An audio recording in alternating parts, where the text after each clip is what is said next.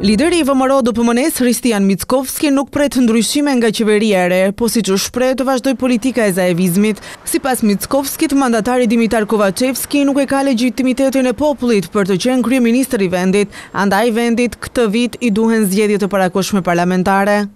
Očekuvam deka Pres që këtë vit të ketë zgjedhje. Kjo patjetër të bëhet për shkak se duhet të jepet mundësia që populli të zgjedhë qeveri politike.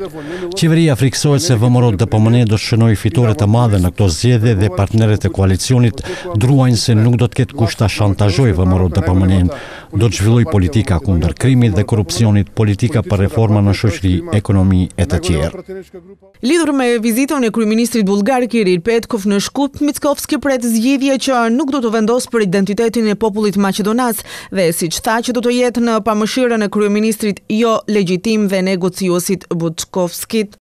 Oj, premier, mandatar! Mandatuesi për përbërjen e re qeveritare nuk ka legjitimitet të negociojë për identitetin e popullit maqedonas e aq më pak aventurieri Buçkovski të jep premtime dhe të shkelë mbi pozitat negociuese që janë ndërtuar me vite. Pres, jo vetëm nga Petkovi, por edhe nga të gjithë, që të dëgjohet zëri i popullit dhe partisë më të madhe politike në vend.